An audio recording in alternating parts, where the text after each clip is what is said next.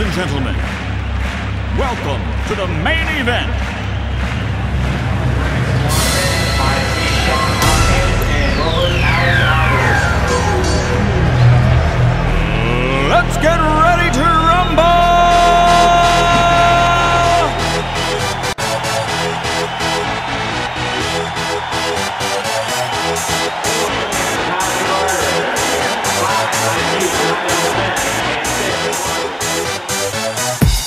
For this?